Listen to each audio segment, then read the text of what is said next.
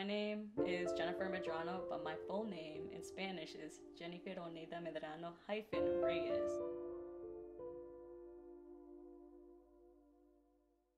My parents are from El Salvador. I was born and raised here in Boston area. I live in Everett now.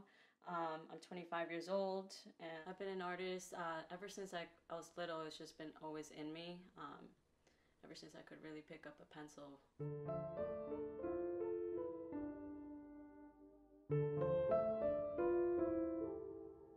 Time that I realized uh, that everything around me was art, but it was at a very young age. Um, really, my teacher seen the potential in me, and she was really my biggest guide. Um, would always call my parents to uh, have a discussion about putting me in advanced classes and private classes, but my parents uh, don't have a high degree education.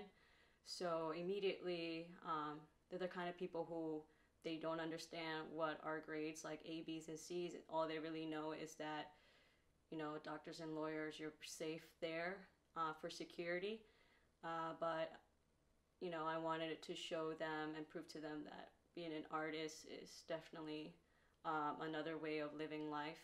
It's just me following my dreams, really.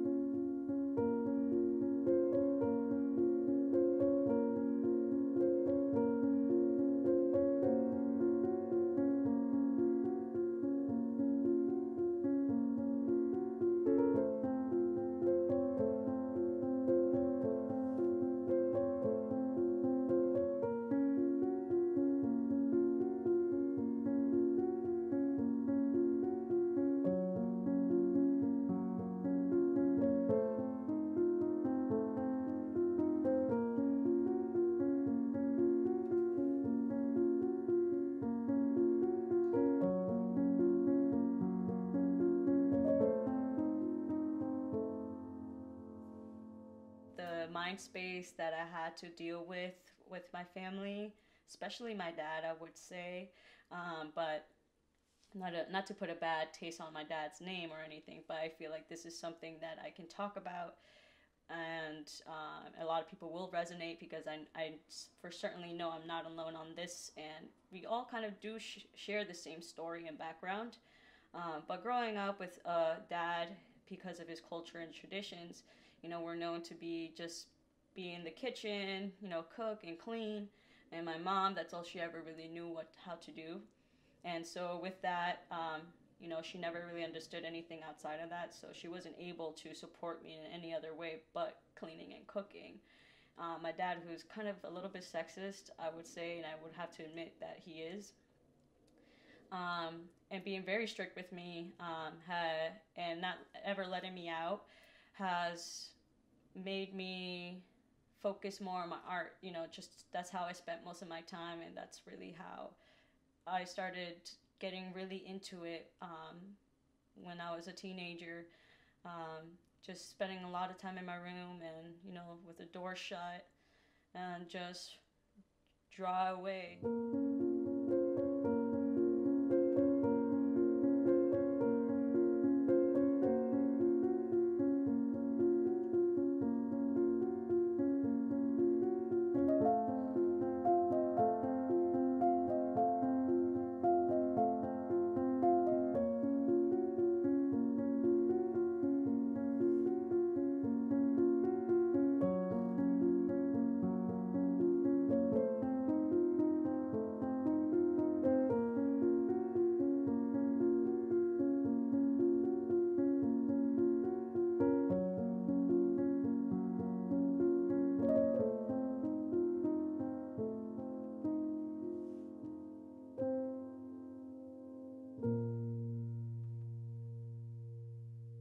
Was 20, I moved out of my parents' house and moved out with uh, my current roommate, Elisa Garcia, who's a phenomenal artist as well. And ever since then, we've been living here in the same space. Um, and with the with this studio that we have, that I'm so grateful to have here in Everett, I was able to break through all those doubts because now I have all these tools around me, the space especially, and so I have no excuse to really prove to these people that have these doubts of me uh, that I can still create. I think what's really important is really having that space and the people, especially um, who are also on that wave or that same frequency of vibration where they are also creating and that's only going to inspire you. And so i think that really was one of the major key is um, finding that circle where um, you know it's beneficial to me and them as well. So i think that's really uh, how i was able to keep going